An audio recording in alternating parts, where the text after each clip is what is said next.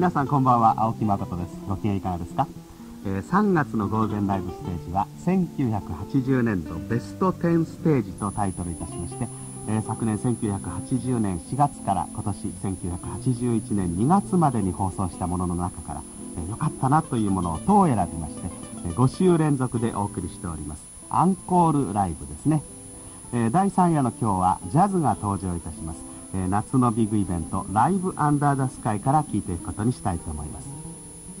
えー、 Live Under the Sky 80は昨年で4年目を迎えましたね、え、真夏の夜のジャズとしてはもうすっかり名物になりましたけれども、え、昨年は7月23日から27日までの5日間おなじみの田園コロシアムで行われました、えこの中には日野テルマサナイトギターナイトスタンリー・クラークナイトチックコリアナイトそしてジャム80と日本外国のトップミュージシャンが田園コロシアムに集まったわけです。でこの中から、えー、パート1はギターナイトを聴いていこうと思います、えー、ジョン・マクラフリンとラリー・コリエル。そしてフランス人初来日でありますジプシーギターのクリスチャン・エスクーデの3人だけのコンサート、えー、しかもアコースティックギターだけで行われたコンサートを聴いていきましょう。7月24日に収録したものです。